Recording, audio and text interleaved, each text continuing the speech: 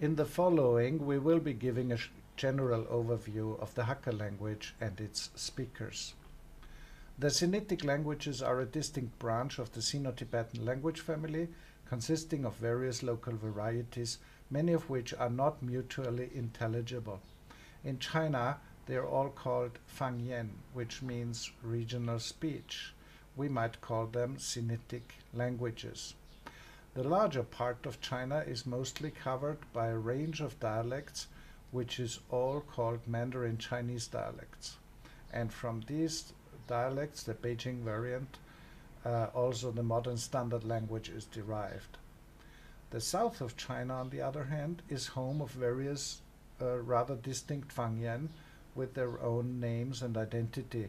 Most importantly, Hokkien or Minnan in the Fujian province, Teochew and Yue and Hakka, and uh, in the north of Hakka, Gan in Jiangxi province.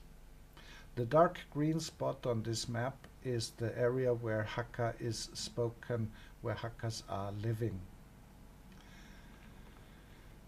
If we look at the administrative subdivisions of China, we see that Hakka does not have a province of its own, but is spoken in the provinces of Guangdong, Jiangxi, and Fujian, dispersing over southwestern areas in Guangxi, and Sichuan.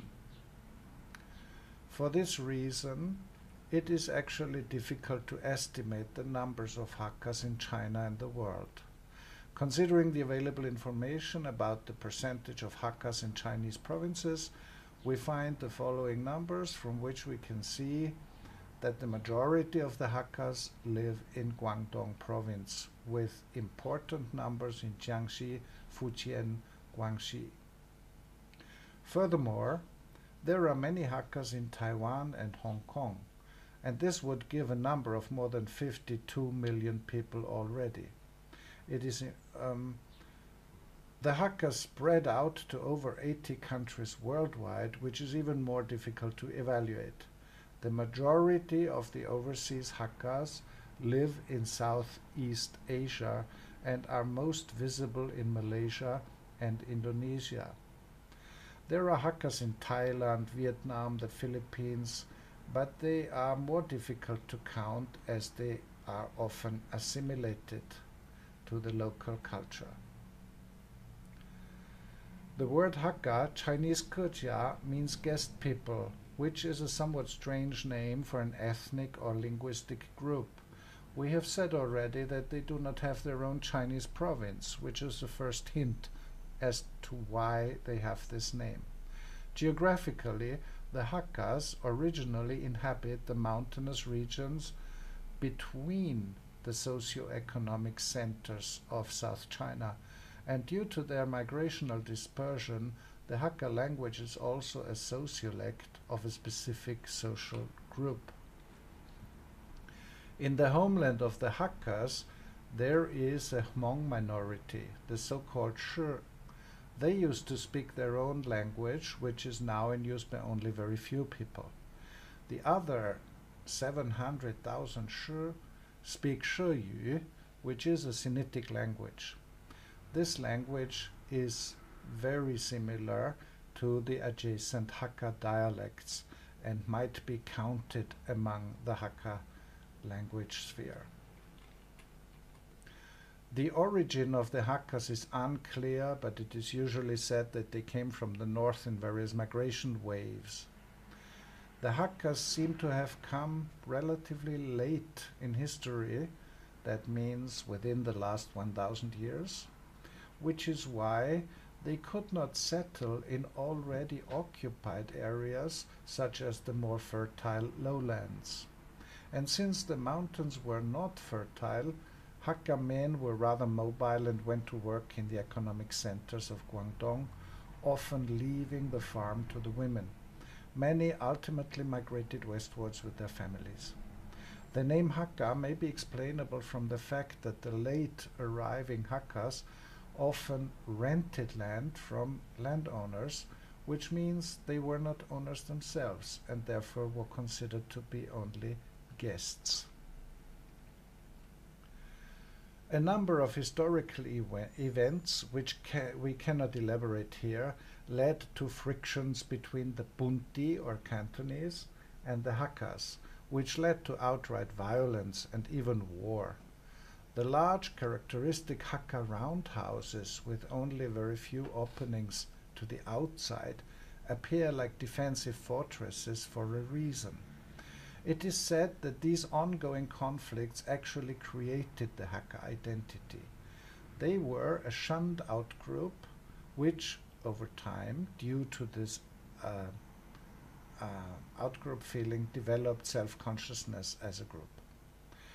It goes without saying that, therefore, people in some other areas, for instance in Jiangxi, may not identify themselves as Hakka but speak a related variety which should be included linguistically in Hakka language research. The Hakka see themselves as hardworking, diligent, clan oriented people who keep close contact with their group and collaborate as a group. The women are able to work hard in the fields because they traditionally did not bind their feet. Because of their delicate situation among the other groups in the region, with no province on their own, Hakkas seem to have always taken care to cultivate a double identity as Hakkas and as Han Chinese.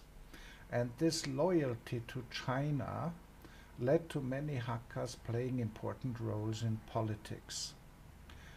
Beside the above mentioned roundhouses, Hakkas are routinely known for the so-called Hakka mountain songs, a custom which previously served as a means of communication between the mountain hills. The Hakkas partly have their own cultural traditions.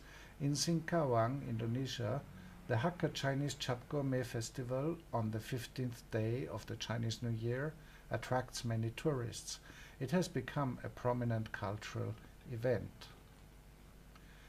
The Hakkas are one of the larger immigration groups from China. Most Hakkas moved to Taiwan and Southeast Asia, but also spread worldwide, for instance, to Suriname.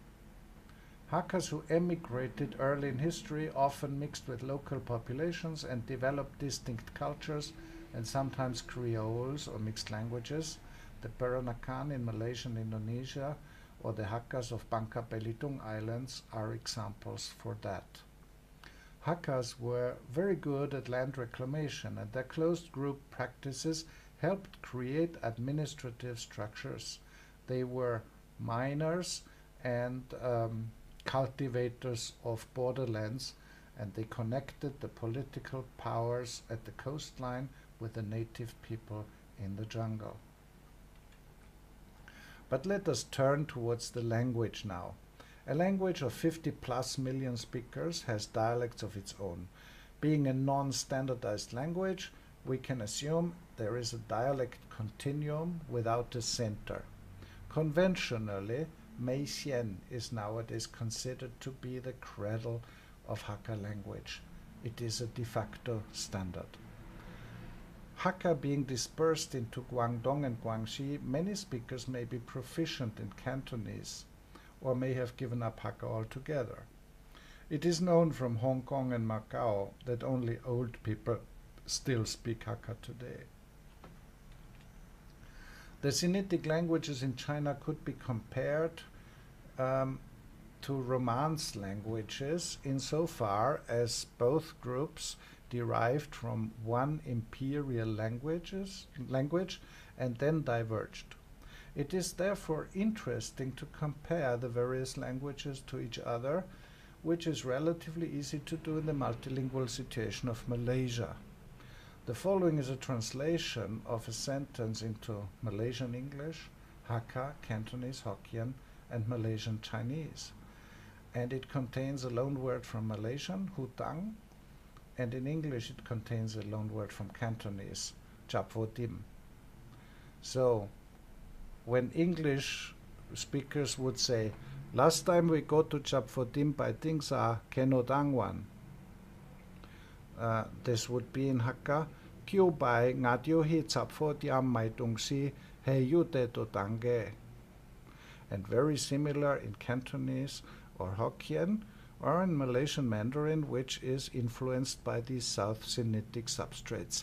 Yi qian woman cha cha huo dian mai dong uh, si si you de o dang de. As in other parts of the world, the first to um, work on the grammars were missionaries, uh, learning the local languages. Before all, the Basel mission uh, was working on Hakka dictionaries and grammatical notes, as well as Christian translations. In modern linguistics, the first grammatical description was made by Hashimoto 1973 on the basis of one Meixian speaker. In 1993, a Chinese scholar, He Gongyong, wrote a Hakka grammar in Chinese language. Otherwise, Hakka is of interest for historical linguistics of Chinese. Instead of going through phoneme tables and so on, let us just get the feeling for the pronunciation of Hakka. Let's read these few sentences and compare them to standard Chinese. Ngài kinh nên chọn loại của nên, wo hui lại của niên. Lỗi phải hồng bảo, wo lại phải hồng bảo. Xuân bên siêu hồng bảo, xuân biến sầu hồng bảo. Hồng bảo. Uh, one of the most striking phonological features of Hakka is the existence of coda consonants which are altogether absent in Northern Chinese. One can certainly establish phonological correlations between uh, Standard Chinese and Hakka so lai is loi and yao is oi and ai is oi, for instance. And he is ho and ge, ge is ago. And sometimes there are different lexemes as shuo and gong. There are eight tones in Hakka. Two are called checked tones, and they are related to these coda consonants. Um, again, it makes no sense to give the system here because it diverges between the dialects. In the romanization of Hakka, numbers are usually used to represent the tone contours on a scale from 1 for low to 5 for high. Let us discuss a few grammatical aspects, not systematically, but in a few selected examples. Um, word formation is certainly very similar to other Sinitic languages. For instance, the suffix ga is the Chinese jia, uh, is a derivation for agentive nouns. Yin Yan Hokka, the linguist Yu Yan Jia. Similarly, Xinzang and Xianshang are the same word, distinguished only by phonology. Um, there are the usual complex uh, rules for reduplication, but one more peculiar uh, feature is the reduplication of meaningless syllables um, following a noun and giving um, a special meaning to this noun. So gyok yak ya means spreading legs widely or mukmimi means looking with eyes half closed. um, many differences come more from uh, usage habits. If, for instance, one would translate I am a teacher, Chinese wāshu Laoshu, into Hakka, one can perfectly say Ngai He Xin Sang. However, uh, Hakka speakers would more often say Ngai He Gao Suke, I am Teach Book 1. And this gaosu, of course, correlates to Chinese jiaoshu and is known in Chinese as well. The construction he and ge is uh, structurally similar to the Chinese uh, structure shude. Um, One can test it with other instances. I'm a car seller. I have my tie. I'm a taxi driver. He's a taxi driver. Gehe su taxi. And so on. Um, gendered suffixes. This is one other peculiar feature of Hakka, which the speakers are conscious of, the gendered suffixes for nouns. Gung means male, ma and po means female. This works quite well in order to distinguish the sex of animals, for instance, rooster and chicken, cows and bulls, and so on. But it doesn't really make sense with hakung for prawn, but po for toad. Body parts are also receive such suffixes. Ngikung, the ear, is male, but set ma, the tongue, is female. Nengu, the breast, is male. And then words such as thunder and sky are male, but knife and ladle are female. Let us uh, keep in mind the two last words. Wokma, the wok, is female, and von gung, the bowl, is male. Chiu, 2006, um, wrote an article about uh, the meaning, the meanings of these suffixes. And she comes up with the explanation that ma is used for soft, sunken, hollow objects and things people cannot see, which are implicit. So, for instance, Wok Ma, the wok, remains in the kitchen, but von gung goes to the dining table and is male. Male is the opposite, stand uh, for upright things, protruding objects, something people can see, something which is explicit. Ma can also stand for small things and gung for big things.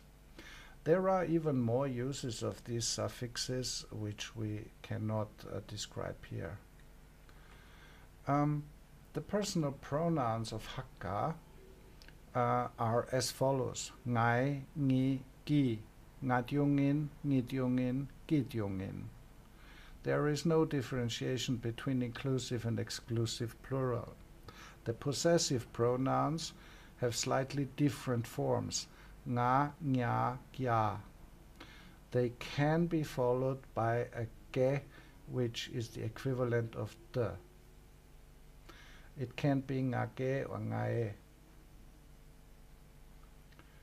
Um, the basic syntactic word order is subject, verb, object, and there is optionality of all components if they can be implied. So let us read a few simple sentences. Ngi hiao gong hakka fa mao. Ngai m hiao gong hakka fa. I si i si hiao. Many aspects of grammar are similar in the Sinitic languages, so we also find topic prominence, where a topicalized element can be moved to the front of the sentence. Hakka sentence, Mun fung chui hi bang bang kun. The door, the wind blew, made bang bang sound. Or, Kim Tsai a boy chu toi yi tong cha bun gi.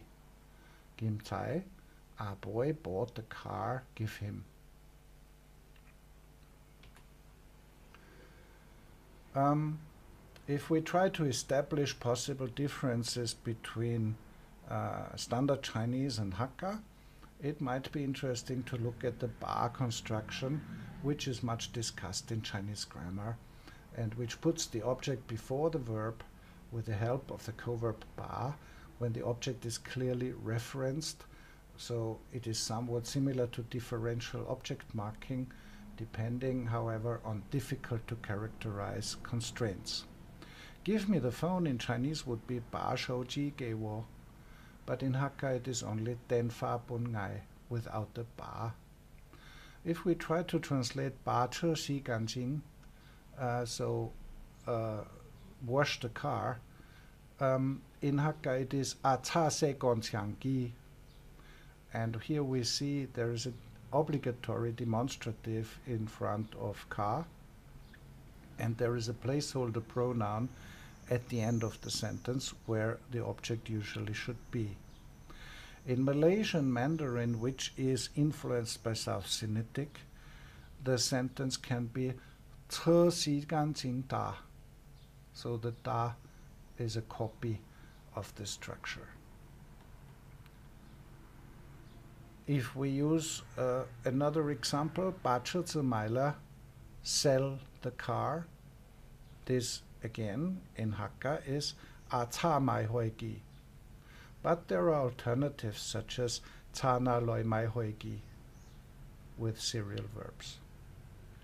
Or to read uh, the, the following uh, full sentence Laufu Ta Mai Hoi Ngatio Oito Bata. Here, the demonstrative and the placeholder pronoun are missing now. Um, and ta can simply be put between subject and verb. But ta, of course, is a blend between English bus and Hakka ka. This example is from Malaysian Hakka. Um, it turns out there are more coverbs which can have partially the functions expressed by ba, for instance, det or lao or jiong. And jiong leads us back to the ba construction because Chinese jiang can actually replace ba in formal writing, therefore might be considered more elegant, more archaic, older. Um, let us look at data. In Malaysia, an old lady said, Ngadyo oi chong apa atsak chao pai kwa gao gao. So we want the father's signboard hang high using Jiong. In Sabahan Hakka, in Sabah, we find uh, Bongi Kepin Gonyim, which is help you relate to Guan Yin, which means you relate, or for you relate to Guan Yin. Kepin Yung uh, Yukvong Tai you know, somehow Guan Yin Lao Ngai Kao Yu Yen Lo.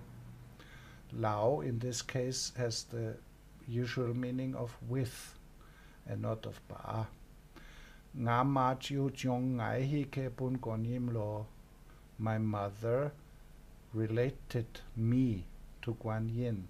That is a ba function.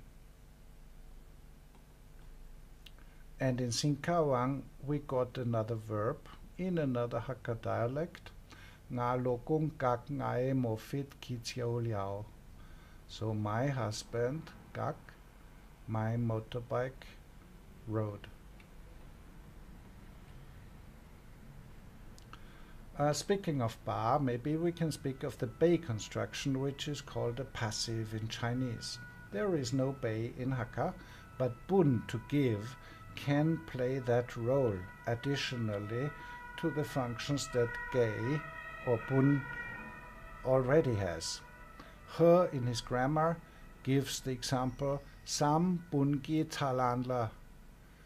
Um, so shirt give he uh, torn, the shirt by him torn. But often this bun construction can be omitted. Gia cha mai hoi, his car sold. Um, otherwise, bun has a number of functions. Trying to translate the ba sentence in Indonesia led to a passive construction. 我把他的书弄不见了 was the input sentence. I lost his book. And the answer was, So his book, by me, make not see. This sentence could be rendered as Ngen which would be the active construction without any special marking. Um, in response to the ongoing discriminations of old, the foundation of the Tsung Tsin Association in Hong Kong marked the beginning of Hakka self awareness, of fighting back. Overseas Hakkas are often organized in so called Huiguan, or clan associations, and in many places also there are Tsung Tsin associations. These associations reflect the collaborative spirit of the Hakkas. Furthermore, there are biannual World Hakka conferences which bring together Hakkas from all over the world to foster the cooperation and friendship globally. The Hakkas outside of China find themselves in various multilingual situations with other Sinitic varieties and with other languages. In Malaysia, Hakka speakers usually also speak some Cantonese, possibly Hokkien, English, Standard Chinese, and Malaysian. This leads to many interferences between these languages through borrowing, code switching, and structural convergence. In the following ex example, an English dialogue of Hakka speakers turns into a wordplay where a Hakka word, Chinchai whatever, is deliberately wrongfully interpreted by a similar Chinese word, Qingcai, vegetables. What do you want to drink? Qingcai la. Here got no Qingcai. Here got coffee, tea or juice. You want Qingcai, you go to bazaar. In this example, the Hakka speaker, while explaining the hardships of his family to learn standard, probably written Chinese, all by themselves, he switches to Chinese whenever mentioning the learning effort. Gi he ga gi hok tsu xue de. Ngai chi ga he anyong xia la dan he gia diu han nu li de xie xi. The green part is standard Chinese, Malaysian Chinese, of course. Um, finally, in the last sentence in 35, we find a Hakka sentence with two loan words, one from Malaysian, one from English. Gipun Mada Lokapoi, he has been detained by the police.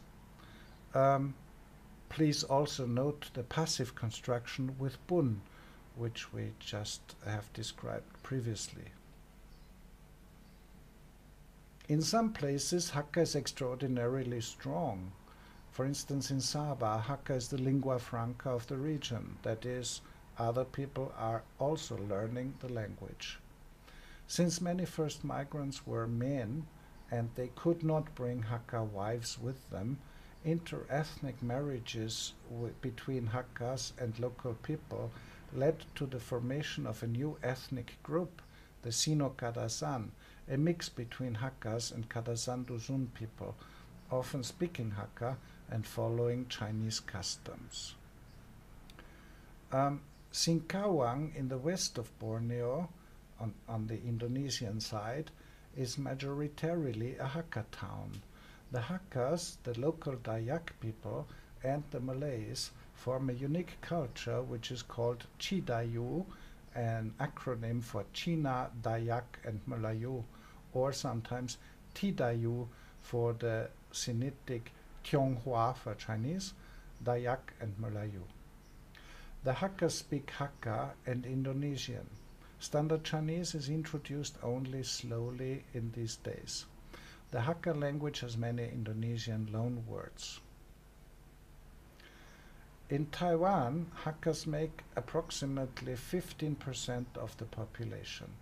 The Hakka Basic Law recognizes Hakka as one of the national languages and it is used in public announcements, it is taught in schools, and it is promoted at many levels.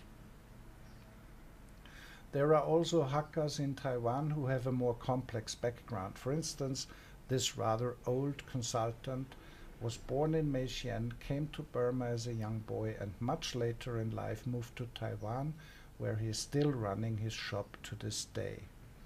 These Burmese Chinese um, have their own uh, quarter in Taipei. Um, Hakkas from in Europe partly come from other countries uh, than China. For instance, the Hakkas in the Netherlands are from Suriname, Indonesia, also from Hong Kong and Guangdong province. The largest group of, the Hakka, of Hakkas in Vienna comes from Calcutta in India.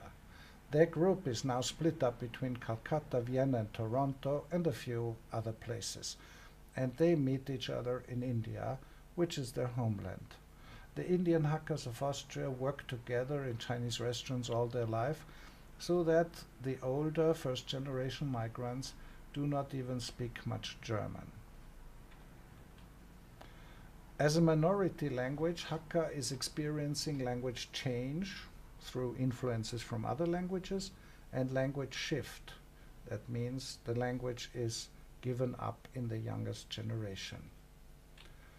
Um, in Taiwan, for instance, in spite of the promotion of the language, the Hakkas use more Chinese than Hakka. Um, in this example, a mother explains how she taught her child to speak uh, Hakka and understand Hakka, and she said literally, "Nga sengin voi, ingwei wo hui chang bo, wo hui gan da chang ti yit ki tang sit ni chang shama ting butong," and so on.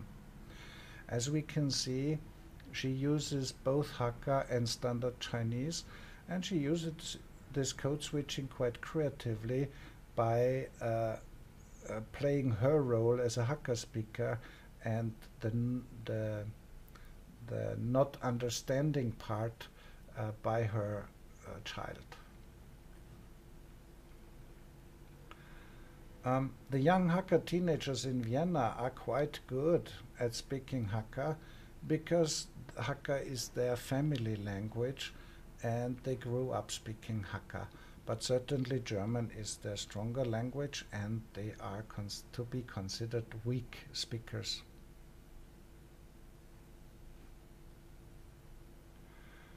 Um, so to come to conclusions, Hakka is interesting for historical linguistics uh, because it is less innovative than Mandarin and therefore gives us certain glimpses to older versions of Chinese. Hakka is as such a non-standard language. It has not been standardized as such and therefore we find a dialect continuum with a lot of variation and at the same time it is under the influence of standard languages everywhere. In China, it is under the increasing influence of Putonghua. In other places, it may be influenced by local national languages. This seems to lead to rapid language change through borrowing, code switching, conversions of patterns, and it seems to be no longer learned as a first language by the youth in most parts of the world. So we must expect that language shift is imminent and that Hakka, like all non-standard languages, might be replaced by the various, the respective standard languages. We would like to finish with a photo with dictionary author Chin Awen, a Surinamese, now Dutch Hakka, who spent 20 years of his life to compile a Hakka dictionary in order to preserve the memory of the language, which is now much less used by the younger generation. Thank you very much for listening. We hope you found it interesting.